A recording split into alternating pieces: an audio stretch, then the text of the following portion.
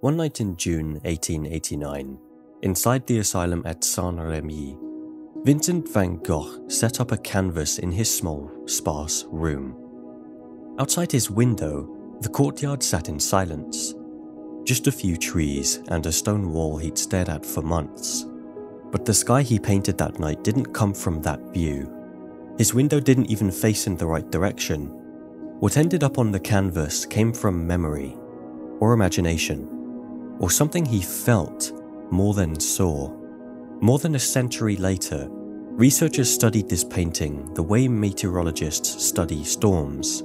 They measured tiny variations in brightness across the canvas, looking for patterns in the data. And the numbers that came back resembled turbulence, the chaotic motion you see in storms, smoke, and flowing water. Nobody expected that. To understand why that matters, you must picture where Van Gogh was when he made it. He admitted himself into the asylum after one of the darkest episodes of his life. He was exhausted, underweight, and trying to keep his mind from slipping. His letters from that period read like someone trying to pull himself back from the edge by sheer force of will. Painting was the one thing that anchored him.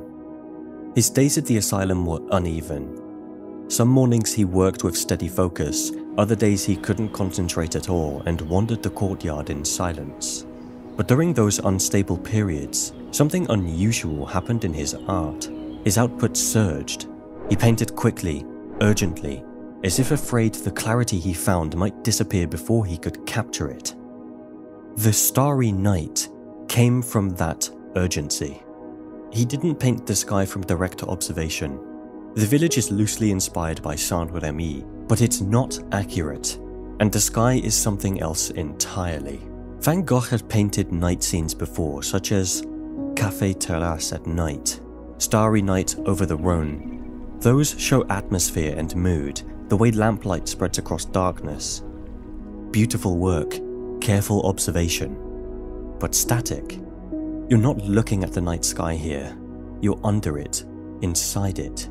The scale and emotion feel too big to process all at once.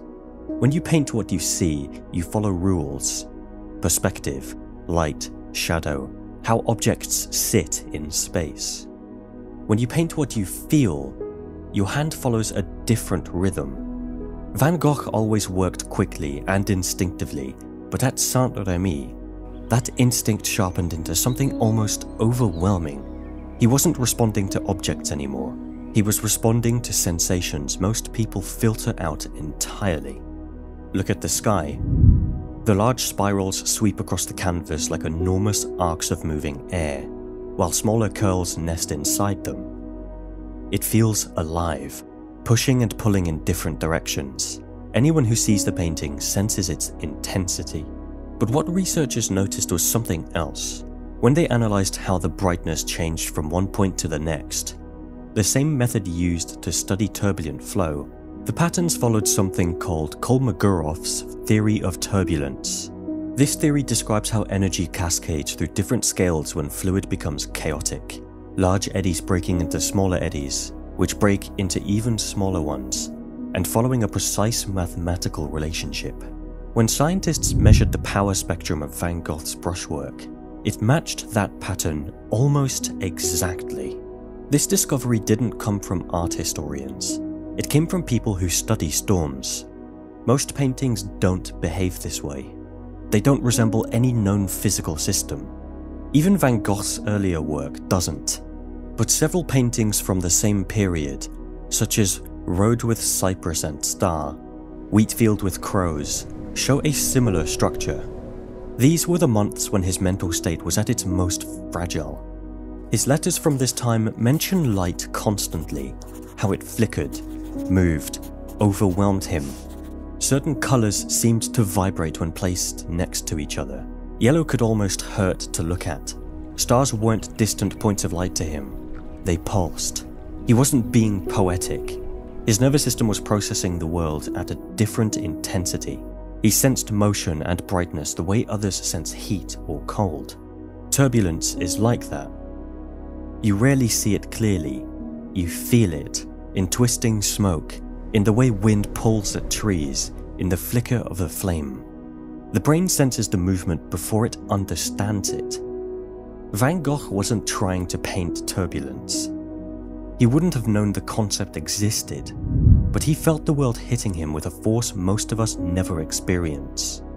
And that force ended up in the paint. Inside the asylum, his days followed a strict routine. Meals at set times, walks in the walled garden, limited contact with the outside world, but his inner world didn't follow that structure. His thoughts raced, colours felt too bright, motion seemed to rush at him. Painting slowed it down. It gave him control. And that control is visible in the work.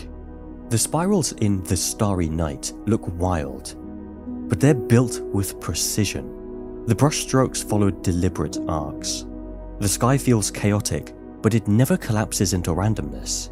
It holds. That tension between chaos and control is the heart of the painting.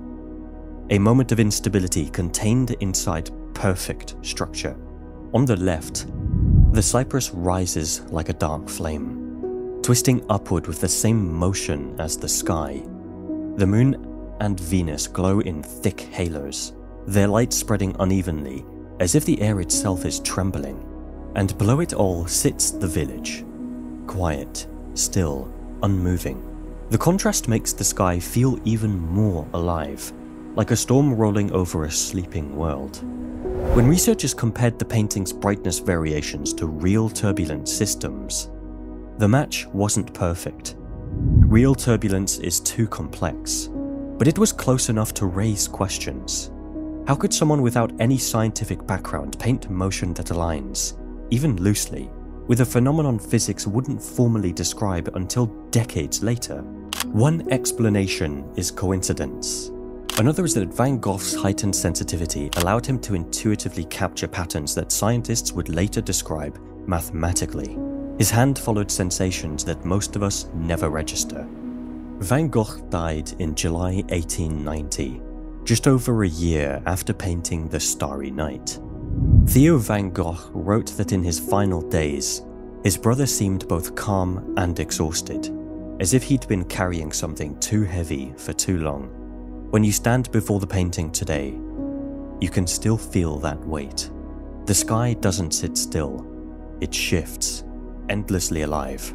What makes the piece so unsettling is that it feels like something caught mid-motion something larger than anything in the village below and too complex to fully take in. You see similar structures in satellite images of storms, in long exposure photos of smoke, and in the swirling clouds of Jupiter.